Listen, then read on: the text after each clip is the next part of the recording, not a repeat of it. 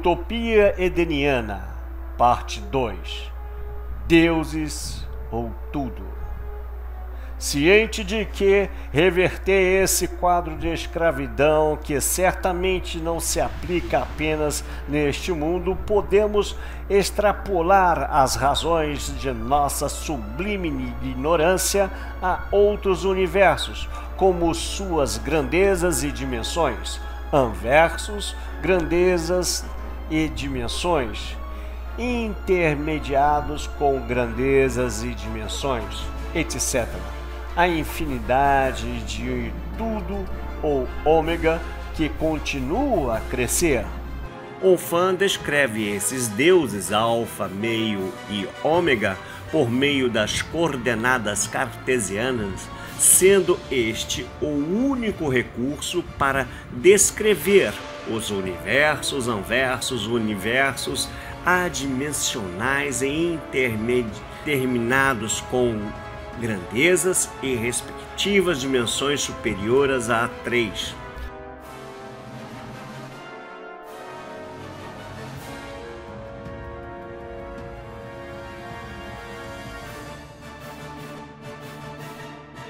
Deve-se considerar que nossos cálculos mais significativos possuem insignificante parcela nessa demonstração, mesmo apresentando a utilização dos gradientes divergentes e rotacionais para compô-la.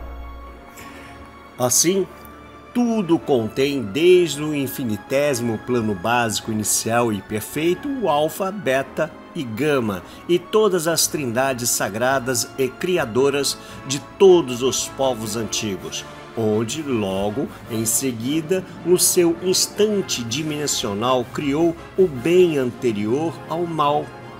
Caso contrário, nada existiria, pois o alfa seria consumido pelo mal.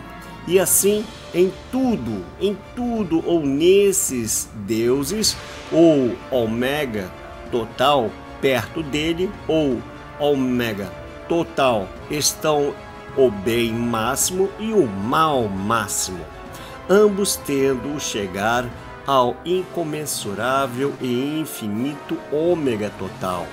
Mas este está sempre crescendo, sempre evoluindo, mantendo ou reverberando a tudo as emanações provindas do alfa através do beta, que é meio, o Espírito Santo, o prana, o tal, texing, o quanto do vácuo, etc. Conforme entendemos em nossa dimensão e grandeza, e de forma que paraísos e arcanjos não passam de pequenas e insignificantes parcelas deste incomensurável e infinito bem máximo, assim como os deuses. Da mesma forma, da mesma maneira, infernos como o de Luz, Ferrades, Luke, etc., são insignificantes parcelas deste incomensurável e infinito mal máximo. Enquanto ao meio que abrange todas as imperfeições, ou seja, todos os zilhares de universos, anversos e universos indeterminados de cada grandeza e respectivas dimensões deste ômega que continua a crescer. Foi a analogia esta até onde pude chegar, ou seja, em quaisquer grandeza e quaisquer dimensões desta grandezas, seus elementos tendem a evoluir naturalmente e da forma que for.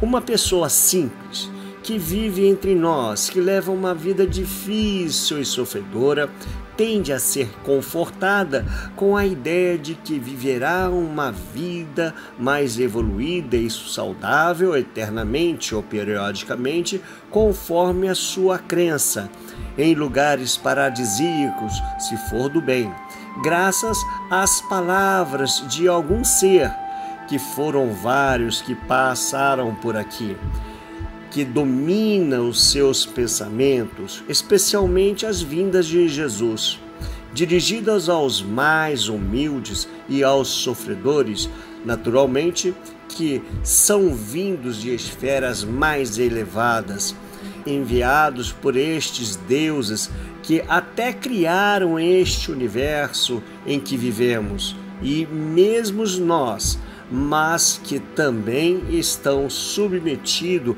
às inteligências superiores, sempre expandindo o incomensurável e infinito ômega total, seja do lado do bem máximo, seja do lado do mal máximo. Uma analogia foi utilizada para que é a comparação a uma esfera. Primeiramente, por que a uma esfera? Porque ela nos dá um entendimento, mesmo que grotesco, sem visualizar, como que é o início, o meio e o fim. Como eles se fundem no mesmo ponto, é considerando que cada nível de grandeza possui infinitas dimensões. Estas estariam sobrepostas tanto para o micro como para o macro. Mas essa esfera está na dimensão 3, apenas para facilitar imaginarmos que as dimensões superiores a 3 estejam nessa mesma ordem de grandeza, envolvendo a dimensão 3 a fim de casar com os nossos conceitos dos mundos paradisíacos e de post-mortem. Estamos nessa grandeza multiuniversal cuja dimensão é de ordem 3, muito inferior, e presume-se que nossa grandeza é também inferior diante de tudo. Continuando, zilhares de universos, anversos e outras na dimensão 3 dessa nossa grandeza R podem compor apenas uma das zilhares de células que um ser gigantesco, suponho sua forma presumível também humana, e que pode ter uma vida prazerosa ou ruim, tanto quanto a nossa e que, quando ele lacrimejar involuntariamente eras e eras geológicas, passarão aqui na Terra. Da mesma forma, esse ser gigantesco na grandeza S faz parte de uma pequeniníssima parte de um ser mais gigantesco na grandeza T também a sua forma pressupõe-se que seja uma forma humana. Ainda, ainda assim, sucessivamente infinito até ômega, ou melhor, estendendo-o a ômega.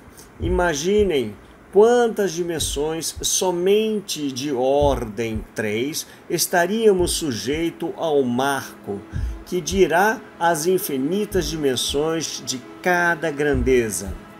Voltando a nós, se tomarmos um pontinho do nosso corpo, uma pequena célula, e no seu citoplasma observamos uma mitocôndria. Dentro dela podem conter infinitésimos mil milésimos de múltiplos universos de grandeza inferior à nossa, com suas referidas dimensões, na grandeza R, possivelmente com formas de vidas, onde, nesse caso, o gigante somos nós.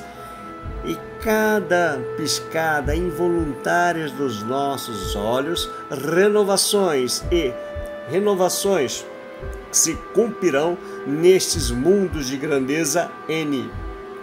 Também de formas humanas presumíveis.